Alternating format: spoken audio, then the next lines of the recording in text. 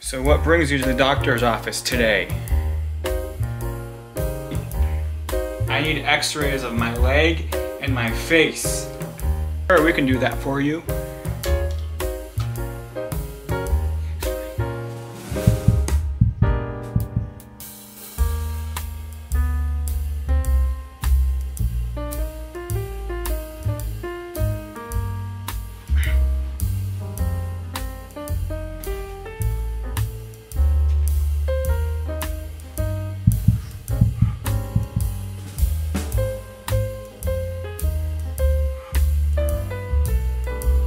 The results have come in.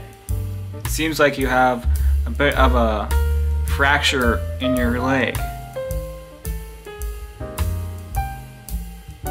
The results for your, from your head have also come in.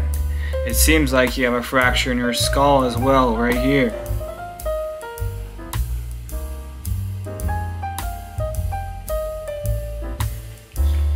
Thanks, doctor. I'll make sure to take extra care of myself.